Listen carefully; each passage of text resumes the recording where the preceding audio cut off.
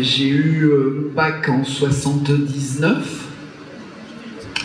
Euh, adolescent, j'étais très, très timide et pas bien avec les filles. Donc quand il y avait des booms et quand il y avait des moments où il fallait danser ou bouger, bah, euh, j'étais assis dans mon coin, je bougeais pas. Euh, et puis euh, je me suis rendu compte que euh, dès l'instant où je passais des disques, à ce moment-là, les filles venaient me voir en me disant Est-ce que tu pourrais passer tel disque? Mais évidemment, avec plaisir. Et puis quand je passais le disque, la fille en question sur la piste me regardait là. On faisait pas encore euh, le cœur avec les doigts, mais c'est ouais, super. Et là, d'un coup, je me dis Waouh Donc je- j'existe. Je suis plus le mec euh, mal dans sa peau. J'ai un rôle, j'existe, je passe de la musique. Et puis après, les DJ, euh, je parle de ceux qui passent de la musique, hein, pas ceux qui font de la musique. Donc moi, je faisais que passer des disques. Et puis quand on a un qui était abîmé, alors à l'époque, il y avait des platines et des vinyles, donc ça pouvait être rayé. Donc, là, il fallait vite le remettre ailleurs, ou prendre un micro et combler, dire, euh, voilà, ou faire sourire, ou dire des blagues, pour pas que d'un coup les gens quittent euh, la, la. Parce que j'avais organisé avec un copain des booms qui étaient payantes, mais pas payantes pour gagner de l'argent, non. Vous voyez pas le côté malsain.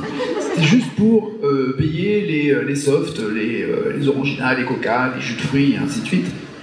Et s'il nous restait d'argent, on achetait des disques euh, avec ça pour qu'on ait des, des disques que les autres jeunes qui, qui faisaient des soirées dansantes, des disques qui ne l'étaient pas.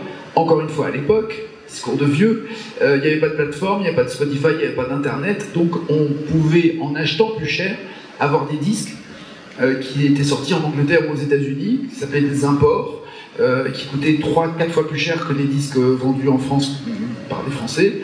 Et donc, on pouvait avoir euh, Michael Jackson alors qu'il passait nulle part à la radio et, que c'était waouh, comment tu fais pour avoir Billie Jean avant, que ça sorte à l'époque.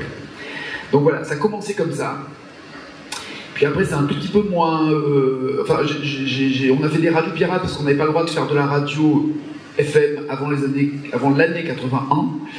Euh, et puis moi j'ai fait des études en fac de sciences et après euh, le prépa euh, HEC. J'ai perdu mon papa et donc il n'était pas question que je sois un poids pour euh, maman. Et donc parce que ça- les études coûtaient cher, il fallait payer un, loyer, et, le resto U et ainsi de suite. Et donc je suis redescendu à Cannes pour aider, aider maman et pas être un boulet. Et puis euh, j'ai euh, tout simplement euh, passé, des, essais dans une radio qui, m'a engagé. Voilà. Les choses se sont enchaînées comme ça, presque par défaut. C'était un plaisir qui est devenu un boulot. Mais je n'oublierai jamais mon papa qui me disait le jour où tu feras comme métier ce que tu aimes, tu travailleras plus jamais. On n'a plus la notion du. alors, je vais dire une bêtise. Étymologiquement, le travail, c'est la torture. C'est l'étymologie qu'on donne ordinairement. C'est ça. Tripaline, un Ah, instrument de voilà. torture. Donc c'est la torture. Le travail, c'est un sentiment de torture.